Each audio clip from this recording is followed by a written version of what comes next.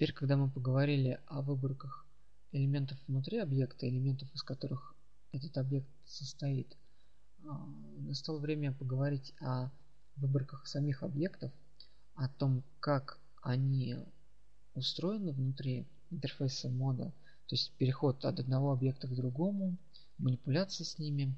И для этого мы обратим внимание вот сюда, на правую сторону, где у нас расположена вкладка Items, то есть объекты, если переводить с английского. Значит, э, это таблица, в которой у нас расположены слои, они же называются мешами. Э, сейчас слой 1 по умолчанию, одна камера вот, и один источник света. Камеру и свет мы пока не видим внутри интерфейса, но их можно, разумеется, отобразить, пока это нам не нужно. Значит, вот так у нас выглядит сцена по умолчанию. Собственно, как вы поняли, вот все эти объекты внутри нашей сцены лежат. Внутри того файла, который вы, собственно, обнаружите, когда нажмете на сохранение. Там save, save as. Вот. Значит, э, на камере и источнике света мы остановимся подробнее позднее. Сейчас об этом слое. Слоев у нас э, обычно в сценах бывает очень много. Это нужно для быстрого доступа к слою и быстрых манипуляциях с ним. Э, не к слою даже, а вот именно к объекту внутри слоя. слоя. А, новый слой мы создаем с помощью клавиши N. Разумеется, и здесь у нас можно их создавать, вот, но самый быстрый способ это работать горячей клавишей.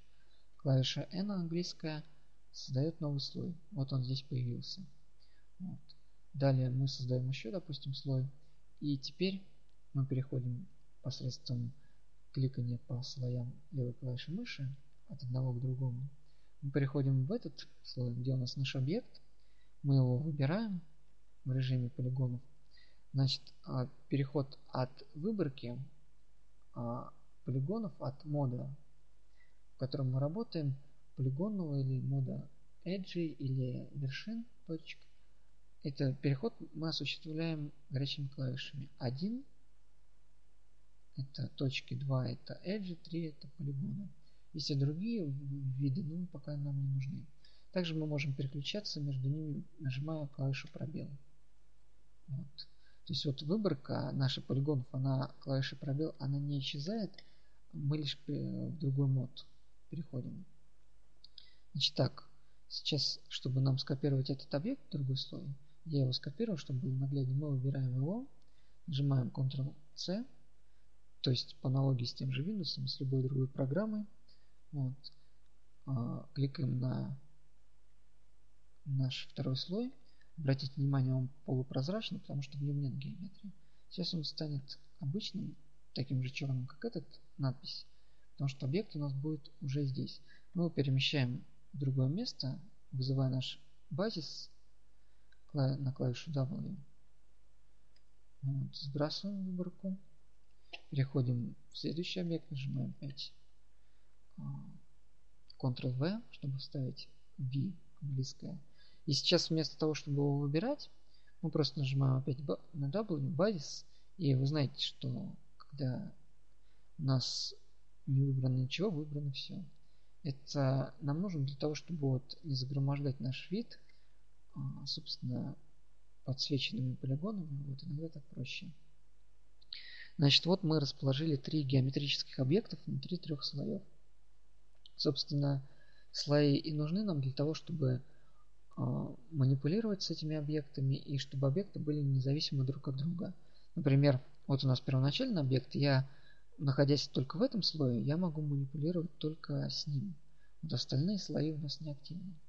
Это тоже важно, вот это тоже удобно. Допустим, если нам нужно будет что-нибудь тут менять, очень сложная геометрия, мы можем нечаянно задеть вот эти а, объекты, то есть, допустим, мы выбрали, выбрали все полигоны и один здесь полигон. Мы это все будем вращать, и у нас будет геометрия искажаться, потом мы оглянем, все, опа, и вот такая вот оказия произошла. Чтобы иногда это бывает просто смертельно плохо, когда очень сложная геометрия, вот, лучше все разбивать по слоям. И перемещаться внутри них очень просто. Вот. Значит, это тоже можно сделать от горячей клавиши, но пока этим я не буду вас утомлять излишним количеством этих клавиш. Пока у нас есть только 7 клавиш, это 1, 2, 3 моды. W и R это базисы манипуляции с геометрией, то есть перемещение, там, вращение и масштабирование. И еще а, клавиша N, новый слой А, ну да, и клавиша 8 Spacebar. Вот. Значит, что тут еще важно знать? Если, допустим, нам нужно будет работать одновременно с двумя-тремя слоями, в данном случае пускай с двумя, вот с первым и с третьим, мы можем это сделать и не трогать второй слой.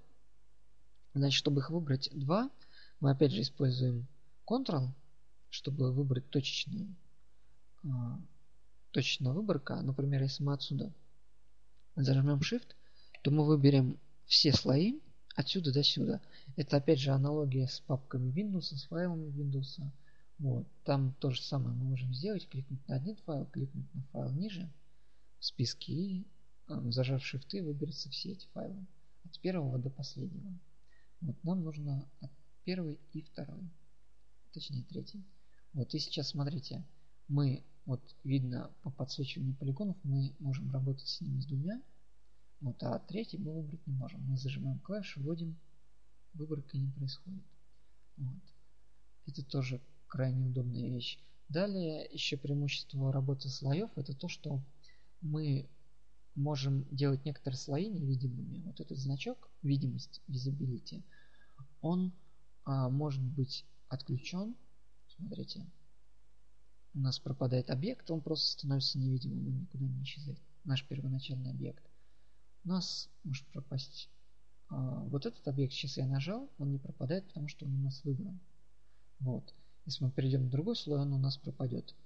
А, то есть объекты, которые у нас выбраны, слои этих объектов в данный момент времени, они показываются независимо от того, есть тут видимость либо нет. Также тут у нас а, изображение того, что, собственно, сейчас мы работаем именно в этом месте. Вот. Так. Ну, я думаю, это все о слоях для начала, хотя слои это гораздо более серьезная тема, и там есть очень много вещей, которые, вот, например, опции слоев, которых мы расскажем чуть позже. Единственное, вот тут самые простые это rename, переименовать.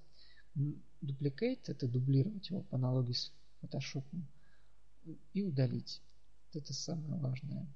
Rename мы можем здесь нажать, и у нас высветится опция, допустим, слой 3. Либо мы можем нажать дважды на этот слой, и у нас то же самое будет, но уже внутри а, вот, этой, вот этого интерфейса, внутри этой вкладки. Мы можем нажать и назвать его слой 2.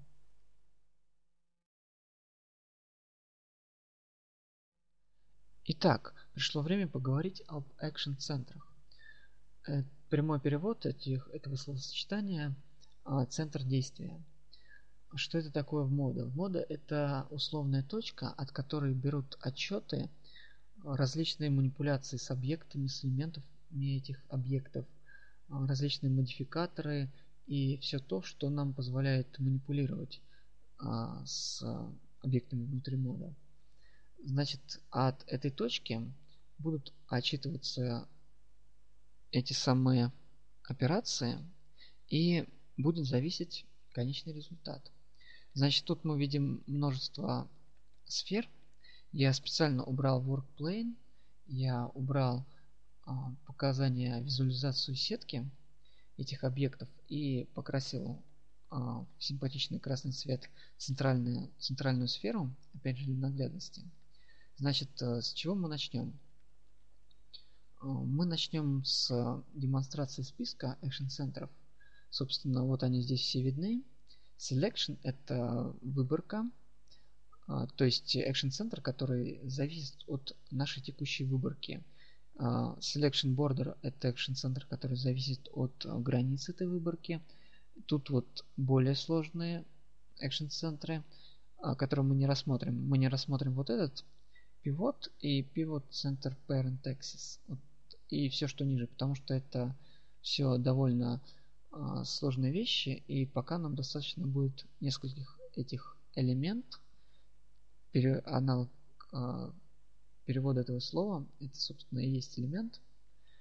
А, screen – это экран, то есть Action Center, зависящий от того, а, как, где находится наш экран. Вот, собственно, то, что мы видим, это область. Далее Origin – это центр мировых координат, то есть координат всего трехмерного пространства, внутри которого мы находимся. Parent – это родитель, Center, который зависит от а, старшего в иерархии структуры элемента. Об этом мы тоже поговорим попозже. Тоже не будем на нем останавливаться. Хотя вкратце это, грубо говоря, манипуляции, допустим, с а, рукой робота относительно туловища робота, если рука, она является, она связана с этим самым туловищем. Local это локальный, ну вот и и так далее. Значит, сейчас мы сделаем Action Center Selection, рассмотрим его на примере этой сферы. Как я и говорил, у нас быстрая выборка а, вот этой части сферы осуществляется комбинацией Shift твердый знак. Я нажимаю R, и вот мы видим результат. А, лучше всего показывать на а, операции Scale, масштабирование. Вот. А что будет, если я а, применю Selection Border? У нас Action Center переместится, вот здесь было ясно видно, в центр а, границы этой выборки. Собственно, эта граница является а, кругом Edge. Вот, и опять же относительно него мы будем уменьшать или увеличивать объекты. Итак, а, дальше я покажу наглядно, ну, скрин элемент пропущу, покажу origin.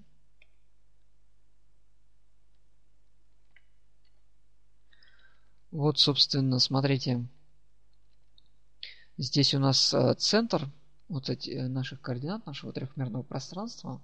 Как видно, вот все эти элементы, они расположены не именно в центре. Вот, и от этого в нашей демонстрации будет еще наглядней. Я могу их уменьшить, увеличить. А, и эффект такой создается, как будто а, все стягивается в центр наших координат. Обратите внимание, здесь можно изменять а, оси. Ну, собственно, об этом я и говорил, когда я показывал это вам в System. Здесь эти опции дублируются. Далее у нас идет вот этот э, остался, как бы у нас осталась настройка, я ее убрал, и я переключился горячей клавишей к local. А, собственно, local это самая полезная вещь, самый полезный Action Center. Ну, конечно, каждый из них полезен, но он будет полезнее чаще всего. Это а, ключ к решению задачи, когда нам нужно уменьшить каждый из этих, а, каждую из этих сфер – но при этом не уменьшать их все вместе. Да, вот еще раз я вам покажу. Обычный Action Center, собственно, который у нас активирован по умолчанию, он нам позволяет все уменьшать. Вот. И э, центром он считает центр всех этих вот полигонов, всех этих сфер. Он находится, естественно, здесь. Значит, э, разумеется, мы можем Action Center э, этот перемещать. Колесиком мышки кликаем на любом месте. Вот, и, собственно, смотрите, относительно этого места мы перемещаем. Это крайне удобно, допустим, когда нам нужно сделать какое-то э, специфическое перемещение или масштабирование. Вот. Значит, э, мы просто кликаем, допустим, здесь, и у нас увеличивается относительно вот этой части. Здесь, правда, это очень похоже на Selection Border. Итак, значит, э, каждую сферу мы можем уменьшать, естественно, одну за другой. Выбираем, уменьшаем. И так до бесконечности, если элементов будет там, допустим, сотня, то мы, в общем, потеряем дикое количество времени. Для этого придумали Action Center Local. Смотрите, я нажимаю R, и он появляется условно на первой сфере и в списке этих элементов этих сфер. И когда я его уменьшаю, смотрите, происходит чудо, уменьшается каждая сфера, каждый элемент относительно своего собственного центра. Также может быть может и увеличиваться, и перемещаться. Но с перемещением тоже очень полезная вещь. Смотрите, когда я, допустим, у этой сферы хочу э, переместить вот эту выборку полигонов, сейчас я верну на нашу изначально Action Center, на наш изначальный. Я вот двигаю их в одну сторону, ну, по оси это, собственно, очень наглядно, очень очевидно. Но а, если я хочу, чтобы каждый из этих полигонов, а, я лучше покажу вот так вот. И каждый из этих полигонов двигался относительно своей нормали. А, нормаль это условно линия, которая будет перпендикулярна плоскости вот этого полигона. Ну, она там высчитывается определенным образом. Вот. Думаю, в школьной программе многие из вас изучали, что такое нормально. И вспомнят, если нужно. Я от горячей клавиши переключился э, на перемещение относительно этой нормали и перемещаю. Вот смотрите, происходит вот такое вот перемещение, и оно незаменимо, когда нам нужно, а, собственно, переместить группу полигонов. Вот представляете, что было бы, если бы мы каждый из них перемещали. Вот. Да, еще раз демонстрация того, что будет, если я буду перемещать обычным акшн центром. Вот. Ну, собственно, это все, что нужно знать об экшн центрах на начальном этапе.